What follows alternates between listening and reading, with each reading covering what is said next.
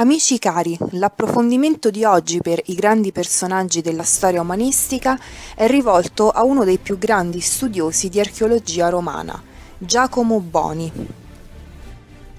Dopo gli studi tecnici partecipò ai restauri che si eseguivano sul Palazzo Ducale di Venezia e studiò architettura all'Accademia delle Belle Arti.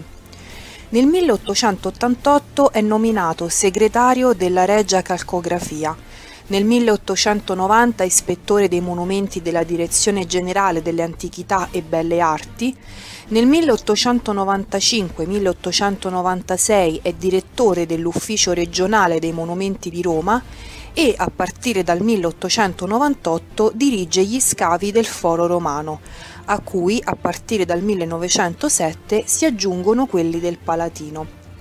Si interessa di tutela e valorizzazione dei monumenti, promuove la creazione nel 1907 del Gabinetto Fotografico Nazionale e auspica l'istituzione di un catalogo nazionale e lo stabilimento di norme aggiornate per i restauri, privilegiando le ragioni della conservazione rispetto a quelle della ricostruzione. Si occupa inoltre dell'utilizzo delle piante in relazione ai resti antichi sia come protezione delle murature dal disgregamento, sia come loro presentazione al pubblico. Nell'ambito dello scavo segue un metodo scientifico, applicando tra i primi i principi dello scavo stratigrafico.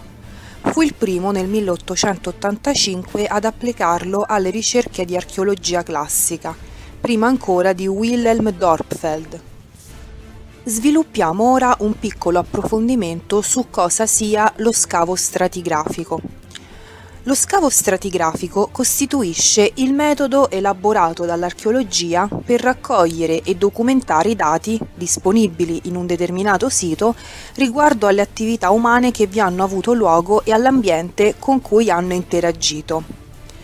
Possiamo cominciare partendo da una situazione di partenza, e successivamente l'azione umana di asporto del materiale. Quindi, come potete vedere anche dallo schema, lo scavo di due fosse di fondazione che per l'archeologia determinano unità stratigrafiche negative che sono evidenziate dalle linee scure che vedete. Poi troviamo una serie di azioni umane di accumulo di materiale, quindi muri con proprie fondazioni che sono costruiti nelle fosse di fondazione e queste fosse vengono riempite con il terreno livellato. E viene inoltre costruito il pavimento con il tetto, quindi in questo caso parliamo di unità stratigrafiche positive.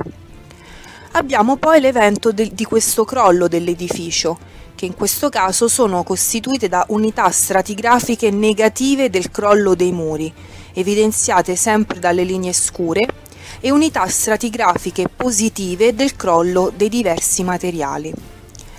Poi avviene un deposito alluv alluvionale o lento accumulo di materiale portato dal vento, ancora una volta unità stratigrafica positiva. Insomma, ogni azione umana o ogni evento naturale ha lasciato in un sito una traccia che si sovrappone alla situazione preesistente e che quindi costituisce una US, quindi un'unità stratigrafica. A seconda che siano effetto di un evento naturale o di un'azione umana, le unità stratigrafiche si possono intanto suddividere in naturali, quindi depositi alluvionali, crollo di mura, e artificiali, depositi di immondizia, costruzioni di mura, scavo di un fossato, eccetera. Inoltre possono comportare accumulo o asporto di materiali rispetto alla situazione preesistente. Avremo quindi unità stratigrafiche positive, di nuovo depositi alluvionali, costruzioni di mura, eccetera, o negative, scavi di un fossato, crolli di un muro. Il metodo è stato elaborato a partire dal concetto di stratigrafia individuato in geologia, per cui le rocce si depositano in strati sovrapposti, con quelle più antiche alla base e quelle via via più recenti che le vanno a coprire.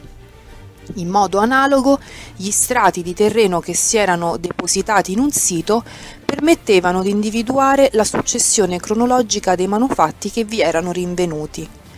Questo è quello che succede quando l'archeologo scava. documentare strato per strato evidenziando le diverse tracce che si vengono a definire fra il passato e l'attuale presente. Boni è tra i primi che si interessa dei materiali rinvenuti negli scavi e della loro collocazione fisica all'interno degli strati. Per primo considera di uguale importanza anche il materiale medievale, senza privilegiare l'età classica. Tra i primi si avvale di disegni e di fotografie per la documentazione. Della sua attività di studio e ricerca restano numerosi documenti di archivio presso la Sovrintendenza archeologica di Roma.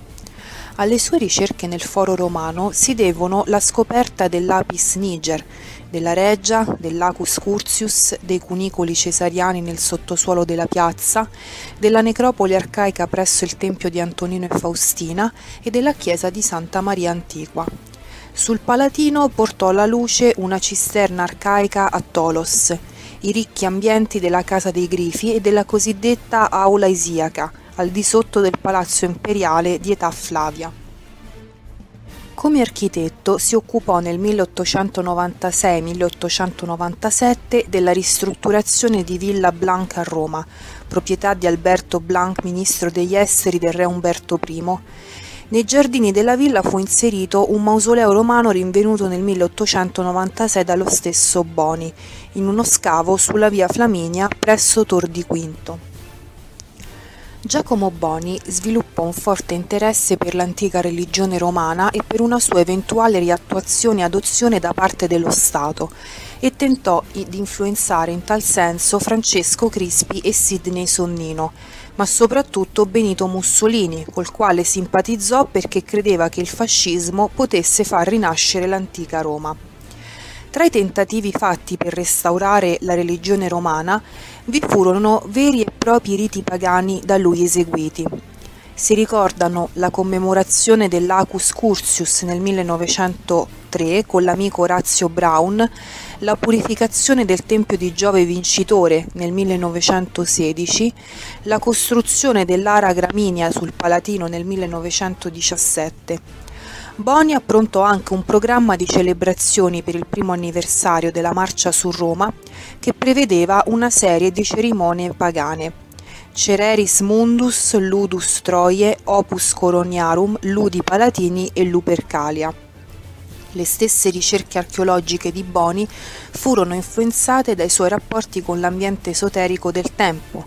Frequentò il salotto di Emelina de Rensis, madre di Giovanni Antonio Colonna di Cesarò, e fu in corrispondenza con Leone Caetani, e da esperienze personali al limite del paranormale, sogni come quello che gli rivelò la scoperta dell'Apis Niger la notte prima attraverso una serie di visioni e voci misteriose.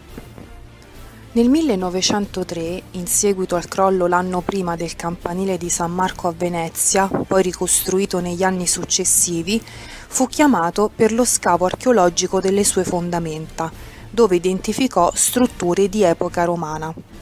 Boni morirà nel 1925 e le sue spoglie sono seppellite sul Palatino, negli orti farnesiani, dove condusse gran parte della sua vita nella ricerca archeologica romana. E come sempre per concludere i nostri video approfondimenti vi lascio una piccola bibliografia per approfondire di più la vita di questo personaggio. Come sempre vi ringrazio e vi do appuntamento al prossimo video sui grandi personaggi della storia umanistica targati Artelet Filoarcheo. Grazie e a presto!